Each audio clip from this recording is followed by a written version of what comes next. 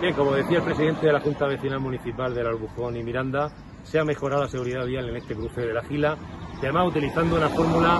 en la que siempre nos insiste nuestra alcaldesa Noelia Arroyo, ¿no? que es la colaboración entre los diferentes organismos que formamos parte del ayuntamiento.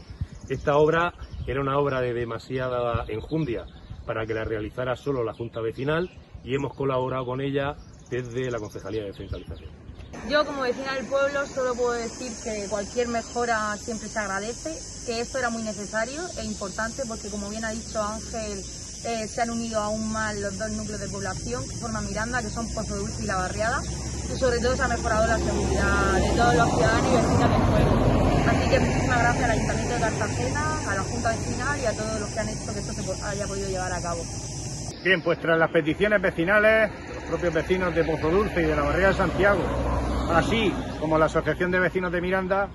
el Ayuntamiento de Cartagena, a través de la Concejalía de Descentralización y la Junta Vecinal Municipal del Albujón y Miranda, pues han llevado a cabo en este año 2021 una importante obra de seguridad vial aquí, en este tramo, que conecta estos dos pequeños núcleos de lo que es Miranda en sí,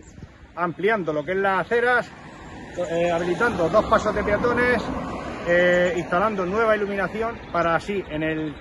eh, acceso peatonal de los vecinos entre un núcleo y otro, pues no tener que estar como anteriormente se estaba, cruzando la carretera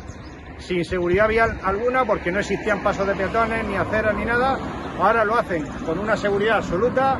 y tanto de día como de noche con la ampliación de, de la iluminación.